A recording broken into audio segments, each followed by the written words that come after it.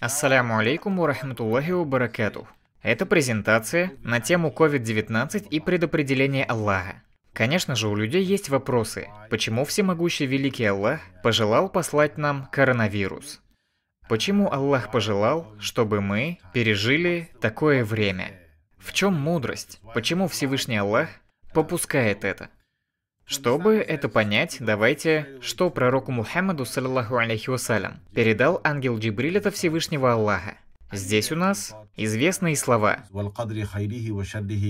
Мы верим, что кадр, то есть предопределение Аллаха, как хорошее, так и злое, все это от Всевышнего Аллаха. Теперь смотрите, то, что мы верим, в то, что как хорошее, так и злое предопределение, оно от Аллаха, не означает, то, что Аллах Всемогущенно Велик желает нам зла. Такого нет.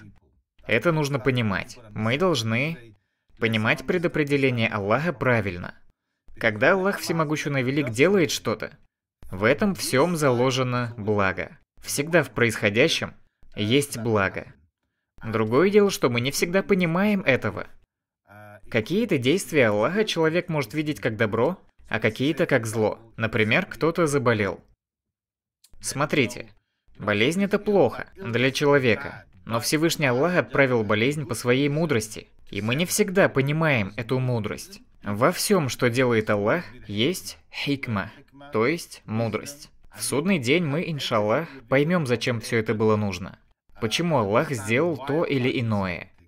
Что-то из происходящего может казаться злом, но когда мы придем на судный день, мы увидим, если пожелает Аллах, что у всего была причина. Чтобы это понять, давайте рассмотрим битву при горе Ухуд, в которой сражались мусульмане и неверующие во времена пророка, саллаллаху алейхи вассалям. Вот иллюстрация того, как выглядела мечеть пророка в его время. На заднем плане гора. Вот это гора Ухуд. Она и сегодня там стоит. Там и произошла известная битва. Вот здесь был лагерь мусульман, а здесь лагерь язычников, и они сразились. Халид бин Валид тогда еще не был мусульманином. Он зашел за гору, где стояли лучники, и увидел, что они покинули свои позиции. В итоге часть мусульман удалось разбить. Хотя мусульмане в итоге одержали победу.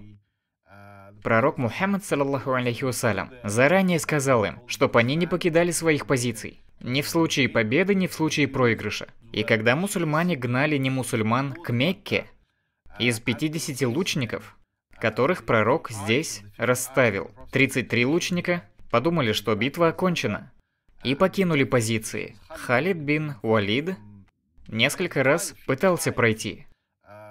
И в итоге, когда лучники ушли с позиций, он зашел за гору и разбил мусульман. Мусульмане понесли большие потери. Всю историю рассказывать я не буду, просто я к чему рассказываю. В итоге 70 мусульман умерли мучениками. Пророк, саллиллаху алейхи вассалям, обещал мусульманам победу. Смотрите, встает много вопросов. Почему Аллах Всемогущенный Велик позволил этому случиться? Сегодня в мире коронавирус, и у людей такой же вопрос. Давайте посмотрим, что Всевышний Аллах говорит в Коране. Насчет битвы Охуд. Чтобы понять сегодняшнюю ситуацию, понять тему предопределения. В 165-м аяте суры Али Имран Всевышний Аллах говорит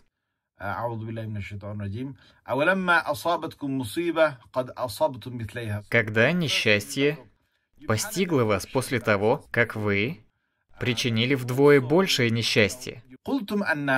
Вы сказали, откуда все это?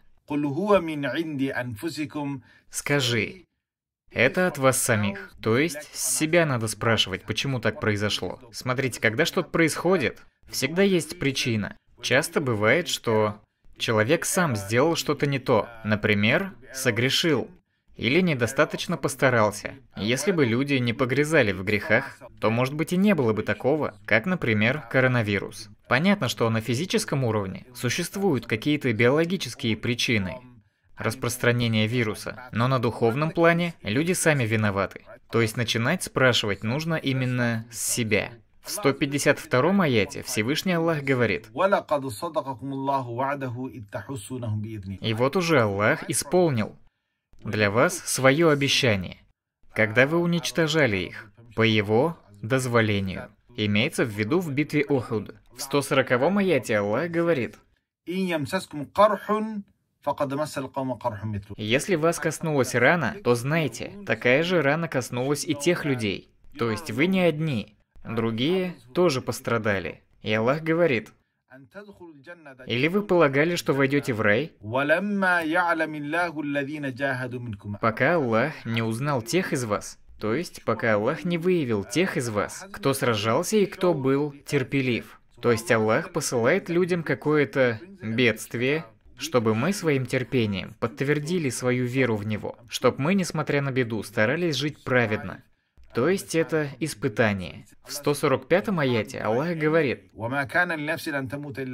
«Ни одна душа не умирает, кроме как с дозволения Аллаха в предписанный срок». Вот здесь мы подходим к теме предопределения. Если Аллахом суждено, что кто-то скончается, то он скончается, а если это не предписано ему, то он не умрет. Так что помните об этом. В аяте 166 Аллах говорит, то, что вас постигло в тот день, когда встретились две армии при Ухуде, произошло с дозволения Аллаха. Для того, чтобы Он узнал верующих, то есть выявил верующих, и узнал лицемеров. Насчет тех, кто скончался, в 169-м аяте Аллах говорит, «И не считайте тех, которые были убиты на пути Аллаха, мертвыми. Нет, они живы и получают удел у своего Господа, радуясь тому, что Аллах даровал им по своей милости, и ликуя от того, что их последователи, которые еще не присоединились к ним, не познают страха и не будут опечалены.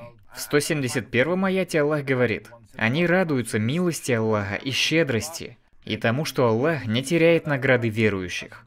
Вернемся к тем мудростям, которые стоят за коронавирусом. Аллах прощает грехи за него. Этим вирусом Аллах испытывает верующих. Верующие, умершие от коронавируса, получают степень шахидов, то есть мучеников. То есть в судный день им прощаются все грехи без суда, и они входят в рай. Пророк говорил, кто умер от чумы, тот шахид. Это очень почетно, уйти из этого мира таким образом. Так, какое еще благо принес нам вирус COVID-19, коронавирус? Он возвращает людей к реальности. То есть начинаешь ценить то, что у тебя есть, переосмысливаешь жизнь, свое поведение, упущения свои анализируешь. Сейчас у нас самоизоляция. Благоприятная ситуация, чтобы задуматься. Кто-то перестал делать какой-то грех. Из-за всей этой ситуации с вирусом. Мы начали ценить милости Аллаха, которые у нас есть. Например, здоровье. Многим людям стало недовоин, потому что люди сами о себе думают. Это тоже благо, тоже мудрость Аллаха. Эта пандемия объединила людей. Волонтеров больше стало, больше доброты людей начало проявляться. Дух коллективизма появился между людьми. Теперь последний вопрос. Следует ли нам бояться? Бояться не нужно. Это не конец света. То, что нам предписано, то с нами и случится. Ни больше, ни меньше. Мы верим в это. Мы должны быть хорошего мнения Всевышнем Аллахе. Пророк Мухаммад, саллаху алейхи вассалям, сказал нам, чтобы мы хорошо думали об Аллахе. Хусну зон биллях. Ожидайте от Аллаха хорошего. Надейтесь, что все будет хорошо. Я выживу, моя семья выживет, иншаллах. В священном хадисе Аллах через пророка Мухаммада передал, я буду для своего раба таким, каким он меня себе представляет. Думайте хорошо об Аллахе, и иншаллах все будет хорошо. Верьте и уповайте на Аллаха Всемогущего Велик. Но и меры тоже, конечно, принимайте от себя. Береженого Бог бережет. Избегайте близкого контакта с людьми, принимайте защитные меры и уповайте на Аллаха Всемогущего Велик. И закончить я бы хотел вот этой дуа. В сборнике Абу Дабуда передается, что пророк Мухаммад, саллаллаху алейхи вассалям, сказал, это передал Анас, сын Малика. Да будет доволен им Аллах.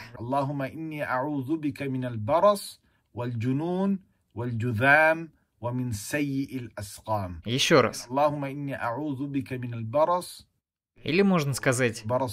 валь джунун, валь джудам, еще раз. Или можно сказать То есть, о Аллах, я прошу у тебя защиты от альбинизма. Это кожное заболевание, когда кожа становится белой.